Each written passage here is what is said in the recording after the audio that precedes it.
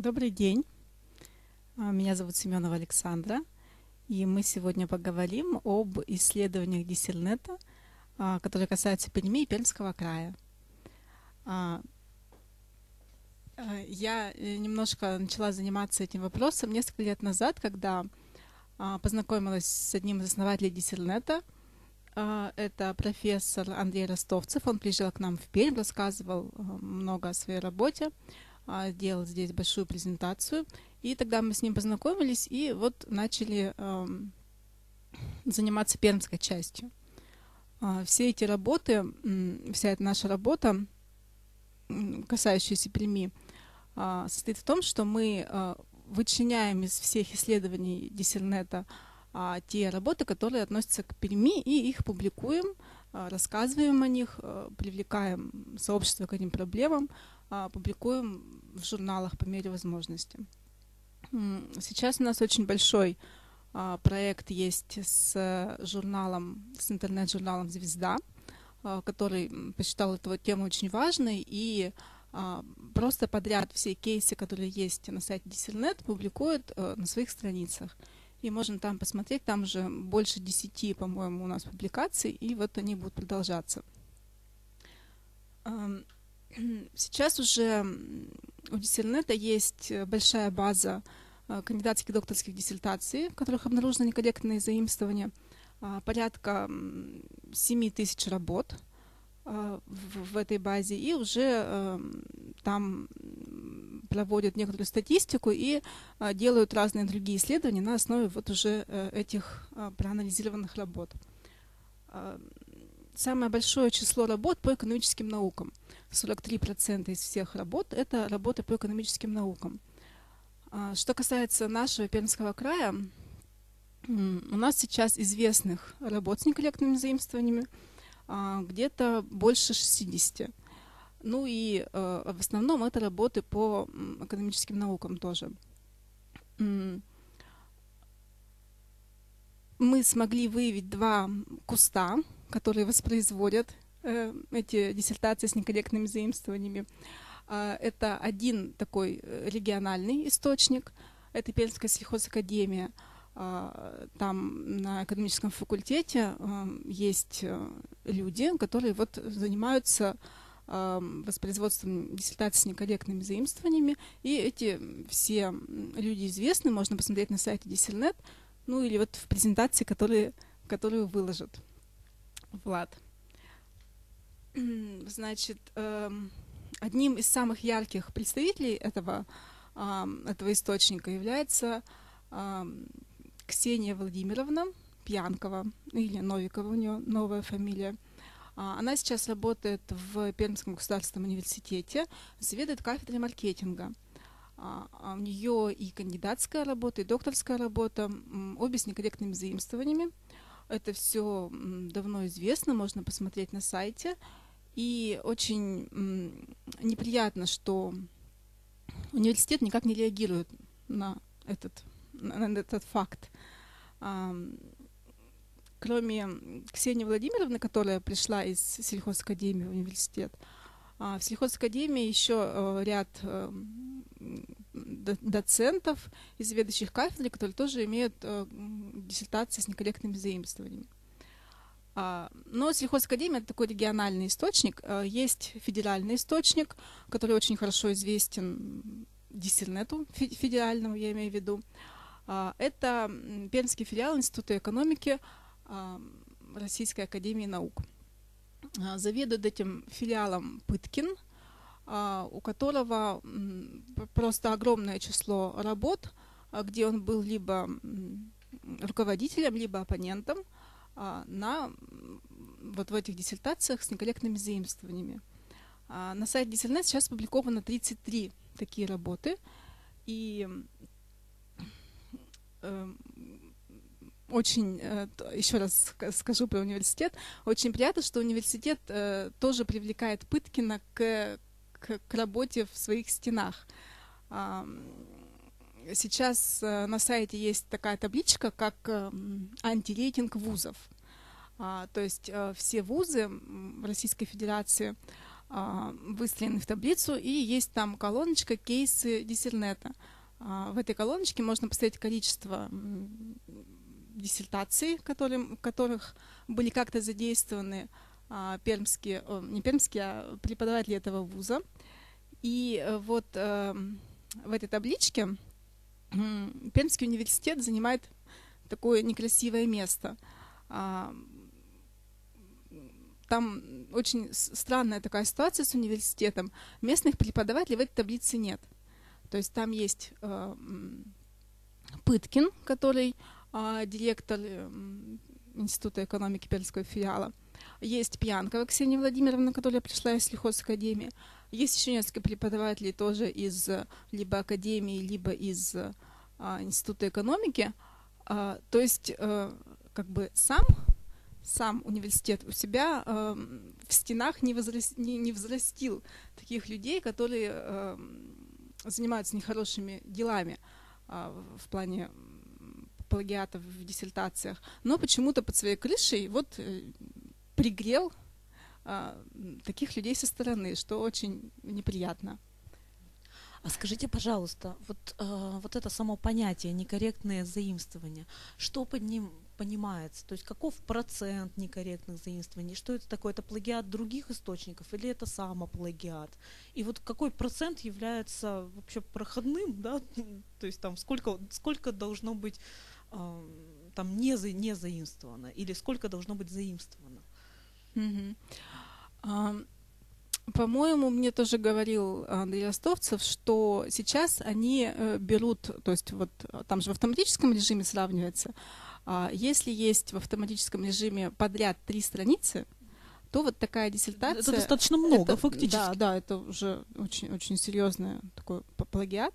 То эта диссертация уже как бы считается забракованной, и дальше ее смотрят люди глазами. То есть, возможно, этот человек сам, сам себя цитировал, да, например.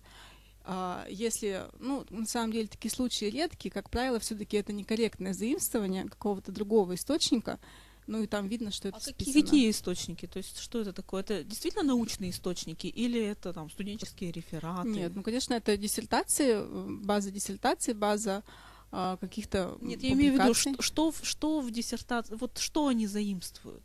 Просто, понимаете, я сама, я сама секретарь э, журнала, и когда вот нам статья приходит, mm-hmm. э, бывают разные варианты. Но в основном, конечно, это самоплагиат, есть процент, вот, который уже просто они в каждую статью пишут, а потом уже дальше ну, свое специфичное исследование приводят. Mm-hmm. Ну, здесь мы уже просто работаем, отправляем на доработку, но есть, например, э, просто заимствование даже не научных текстов, то есть даже студенческих э, рефератов. Mm-hmm. Вот здесь-то э, о чем речь идет, получается? Ну, очень часто, конечно, есть заимствование в, в литературе, в обзоре литературы. То есть э, просто кусками там все списано, пер, первая там часть. Э, и даже сами э, такие авторы таких работ в кавычках говорят, ну что там, мы да, списали обзор литературы, это же не страшно, это же как бы не, не основное, дальше мы сами все писали. Ну, как бы на это ответ такой, что есть ведь правила, нужно оформлять, если вы не сами это сделали. Ну, то есть это просто такая отговорка. А, а есть, конечно, которые э, списаны и такая исследовательская часть, особенно по экономике, это очень смешно выглядит. Там известный кейс, когда мясо заменяется на колбасу просто копипастом. Но это на самом деле Просто редкий типов, случай. типовая задача, да? Она вот э, проходит, но с другими примерами. Да, это один вариант. А еще очень часто мне встречается, когда заменяются года. То есть это же экономика, там берутся какие-то какие коэффициенты, реальные причем. Там, если это работа 2010 года, то берутся за последние там 5 лет. Какие-то коэффициенты, из них какое-то делается, какое-то исследование, анализ, какой-то вывод. Вот. А взято все это из работы, там, например, 2000 года, где все эти данные те же самые данные приведены, но с годами там с 90 по 95. Это очень смешно выглядит, особенно когда это работа какого-нибудь чиновника из а, аппарата Пермского края, который экспертную оценку выводит ведь на основе данных вот этих. То есть вот по экономике очень часто вот, когда просто заменяют года, Ну, Фактически э, речь идет, то есть это даже некое нарушение информативности, это не информативность. Это подлог исследования, да, да. это подлог исследования, это очень серьезное такое И если, например, э, в политике применять это исследование, то это будет наоборот не, не то, что неэффективно, да, у нас отсутствуют, да, у нас отсутствуют эксперты, получается, что мы ведь думаем, что во всех этих отделах а, чиновники, где сидят, мы предполагаем, что это эксперты, там написано кандидат экономических наук, например, он там заведует каким-нибудь какой-нибудь группой аналитической, которая там делает какие-то... А, а сам, по сути, как бы не, не, не представляет из себя эксперта. Это... То есть делает незначимым свою работу, фактически. Да, да. То есть, э, как я поняла, вот диссернет, он себя позиционирует как некий общественный контроль, причем э, такой первичный общественный контроль, который выявляет заимствование и ставит вопросы э, перед теми людьми, которые называют себя специалистами. Ну да, перед обществом в том числе, э, что нужно контролировать ведь э, все вот это дело.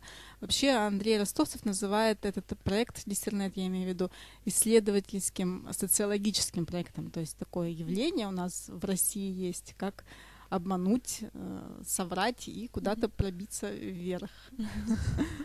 То есть тоже можно это, э, скажем так, по вот этим эмпирическим материалам, собранным диссернетом, это колоссальный, да, эмпирический материал, да. можно фактически действительно опубликовать э, исследование, э, если проанализировать этот материал в такого социологического толка. Угу. Да, да, и они это делают, Делается, проводят, да, да, такие исследования, очень много статей на сайте тоже диссернета можно посмотреть.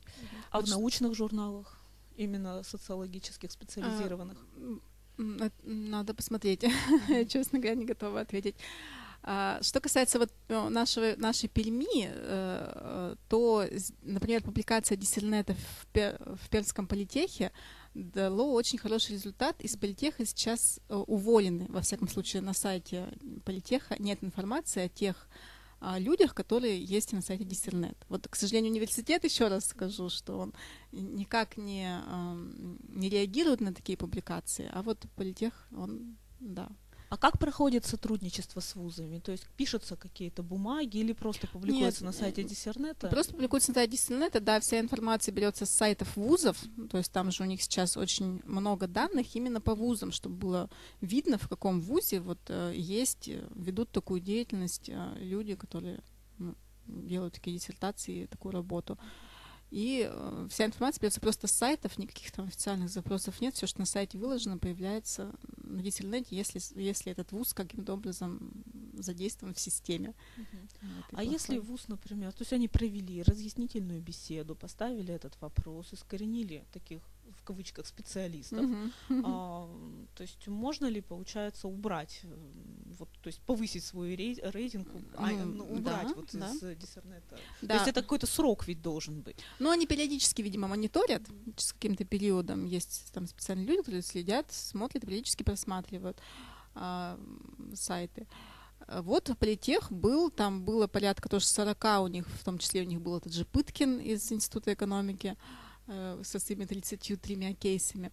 И вот они его, видимо, уволили или исключили, во всяком случае, с сайта, и сейчас там в политехе циферка 0 стоит. Но там есть теперь другая циферка по статьям, то есть сейчас действительно новый проект запустил по анализу журналов, рекомендованных ВАК. И тоже увязал это с вузами. И э, сейчас можно посмотреть, э, сколько в каждом вузе есть вот э, людей, которые вот эти статьи писали а, с некорректными заимствованиями. Сейчас в политехе тоже, политех сейчас на первом месте по этому параметру прямо по России. 59 а, статей, э, но там все сотрудники кафедры физической культуры да, и спорта. Да, мы в курсе, просто мы проводили ага. Э, разъяснительную беседу с этими а, людьми. А, вы как раз с ними общались? Да, да, это... И что они говорят? Мне прям очень... Ну, просто физкультурник, э, два физкультурника, да, решили, решили, что можно на этом заработать. Но это, это просто на самом деле вопрос о том, что физкультурник, он не занимается наукой, то есть это кафедра особая. Они, они, они же все рамках... кандидаты педагогических а, наук. Это вопрос, конечно. есть, но, по крайней мере, я знаю, что беседа, она была проведена, то есть это все пресекли, и, конечно, ВУЗ это будет пресекать. Я очень рада за политех, что он ведет эту работу. А, а университет же прямо так и пишет, что а, у Пьянковой вот, пожалуйста, есть а, докторская степень. Что вы хотите? Она у нас тут будет работать. То есть они отсылают к ВАКу как организации? Да, да, и больше mm-hmm. ничего не делают. А, мы, наверное, завершаем такой небольшой экскурс сегодняшний. Всю информацию можете посмотреть на сайте Диссернет. Очень много там чего можно найти интересного и узнать. Спасибо большое. До свидания.